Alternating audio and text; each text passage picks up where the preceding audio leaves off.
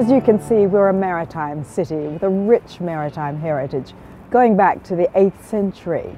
Ships have sailed up and down this water, and now we are affiliated with HMS Prince of Wales, the newest, the fifth generation aircraft carrier for Her Majesty's uh, Royal Navy.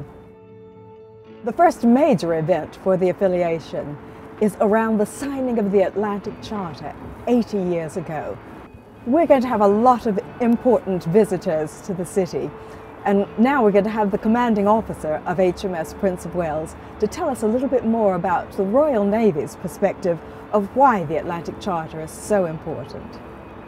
This year is the 80th anniversary of the Atlantic Charter. In August 1941, the President of the United States, President Roosevelt, and the Prime Minister of the United Kingdom, Winston Churchill, met on board the previous HMS Prince of Wales for meetings and also for divine service. Out of that came a statement which then went forward to produce the foundation and the cornerstone of what we now know as the United Nations and NATO, and produce closer cooperation between the two allies.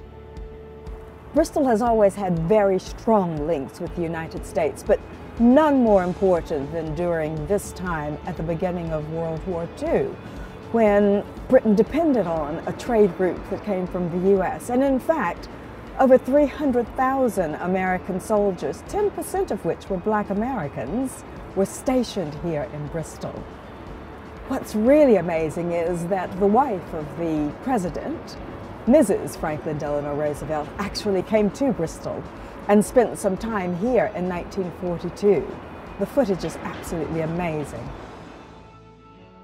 On the 17th and 18th of July this summer, we will be celebrating the Atlantic Charter uh, 80th anniversary and that celebration will take place in Bristol. Uh, the first Sea Lord will be attending. There will be representatives from the American Embassy here.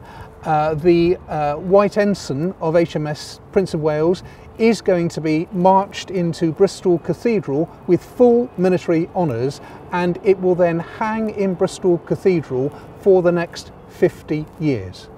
On these two days of celebration, Bristol people will have the opportunity uh, to come to Bristol Cathedral.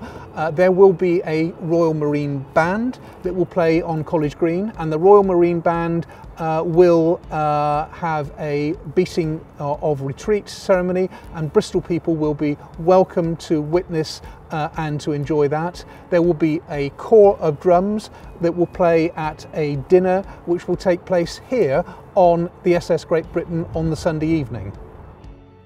Although HMS Prince of Wales will not be able to uh, physically be in Bristol on the weekend of the 17th and 18th of July, the Royal Navy will be sending vessels to be part of this homage to the uh, Atlantic Charter celebration. So there will be two P2000 vessels, there will be a mine countermeasures vessel, um, and there will be uh, a number of the ship's crew in and around Bristol. For more information about the events, please look at the website which will give you all the information you require and will signpost you what is happening and when it's happening.